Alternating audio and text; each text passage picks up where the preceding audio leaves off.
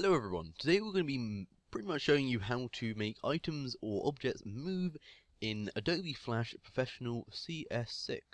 So let's get started. Well this is very simple and one of the basic things you need to know when using Adobe Flash. So the first thing you want to do is come down here and click on your first keyframe. So this is only key one keyframe at the minute and if I push enter to play you can see it's nothing in it. Pretty much nothing is really happening on the stage here.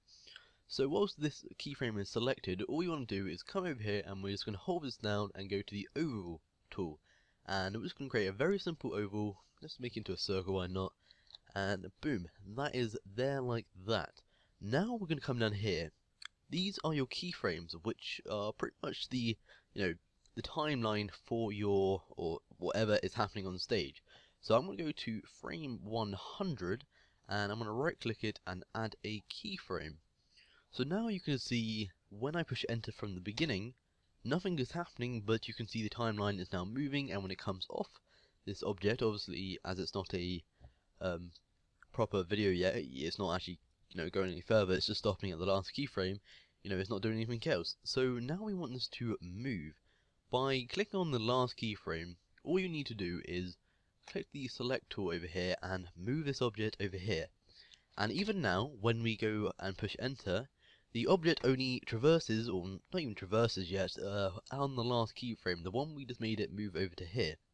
So to make this move there to there, all we need to do with CS6, and now we don't have to do any motion tweens or, you know, connect it to any lines where it uh, traverses across that line.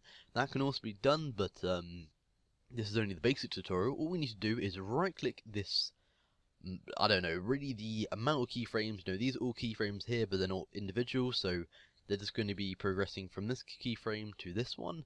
And we want to right click it and push uh, can't do it today create classic tween. And what this will pretty much do is it will mean it can traverse one uh, to point A to point B.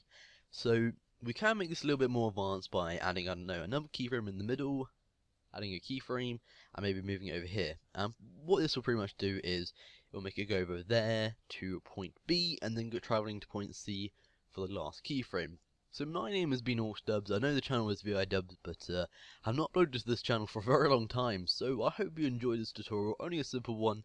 But uh, if you want me to teach you anything more about Adobe Flash, please comment below and I'll be sure to make a tutorial about it. My name is Dubs. see ya, bye.